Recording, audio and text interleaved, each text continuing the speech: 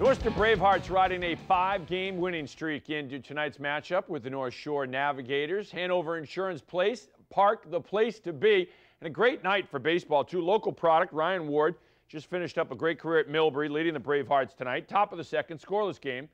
Greg Stagani getting the strikeout for Worcester. Still in the second, Alex Brickman coming off a great career at Worcester Academy.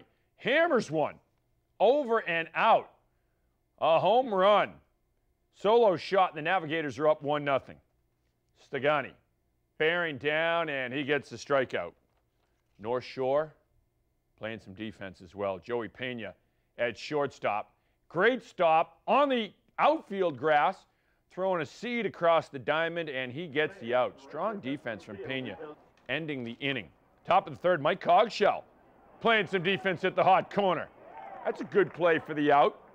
Cogs, the former QB, showing off the footwork. Top of the third, Stagani picking off the runner at first. Still a 1 0 game. Talk four now. Brickman doing it again. Sending one into the night. That was a line shot laser. Got out in a hurry. Played for Jimmy McNamara at Worcester Academy, going to Siena next year. Solo shot. North Shore gets the win. 4 to 2, your final tonight. All right, in the Auburn Summer Basketball League, Tantasqua in the black, Abby Kelley in the maroon. Abby Kelley's Amika Egatu with the hoop. Then it's Hemi Asapuku with the steal. He'll take it coast to coast. Up and in, Abby Kelley looking good. Tantasqua's Drew Peretti beyond the arc, sinking a three ball. Adam Phillips, sweet feed to Evan Couture. And the finish down low. Abby Kelley pulling out the rangefinder. Long shot in the corner, getting the friendly roll. Back to Peretti, no look pass to his friend and teammate. His friends know who he is, his family know who's who he is. Not listed on the roster. Sean Adenga going up strong. Then Phillips. Long range bombing sticks the three. Tantasqua up one. And another good game in the Auburn Summer League between Tantasqua and Abby Kelley. That's what you get, folks. Worcester Tech in the gray, North Brookfield in the purple. Second half, Worcester Tech's Brandon Hamilton with the putback. Then North Brookfield's DJ Golly. Call him Big Country. Strong take. More from Worcester Tech. AJ Tui going off the window for two. Tech continuing. Victor Florentino with the steal. Florentino taking it himself.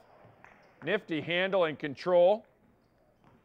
Golly coming back. And the DJ filling it up.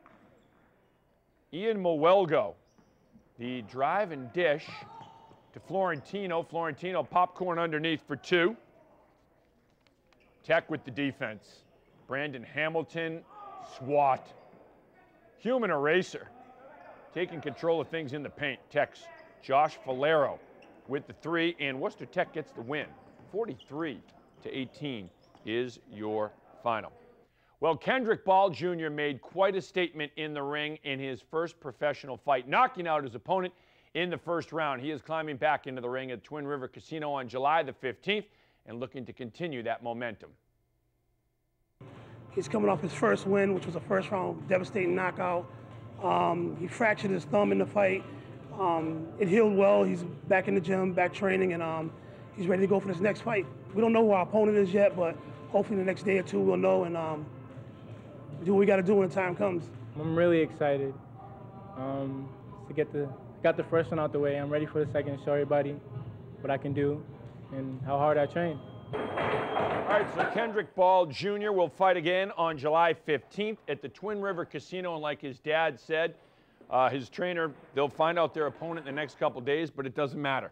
Doesn't yeah. matter. They'll take on any opponent, and it's all about him dictating the fight. Another left hook Friday from Camp yep, Get Right. They're maybe. working on it. They're working Another on left hook there. Friday. Rashad Miner's giving him tips on interviewing and the left hook as well. All right, Kevin. Thank you very much. Appreciate it. Look forward to that fight.